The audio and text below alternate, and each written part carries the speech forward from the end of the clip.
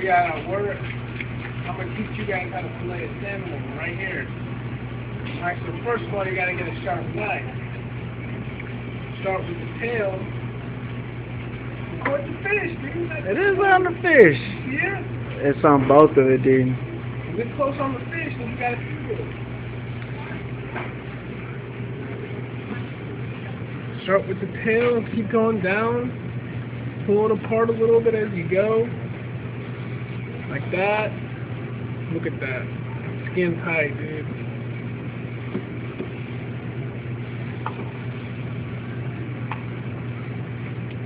Check that out. Is that good?